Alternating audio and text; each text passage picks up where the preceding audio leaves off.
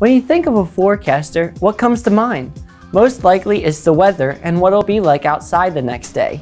You probably don't think of space. Space weather, as we've discussed before, is the interaction between the sun and Earth.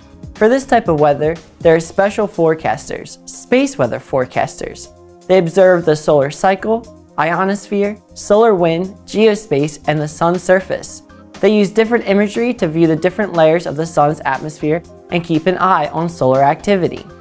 They are important because radiation from the sun can be hazardous to unprotected astronauts, airplanes, and satellites. With the insight of space weather forecasters, we can be more prepared for the effects of solar activity and for various space weather impacts. Follow, like, and share to catch each new video every Wednesday.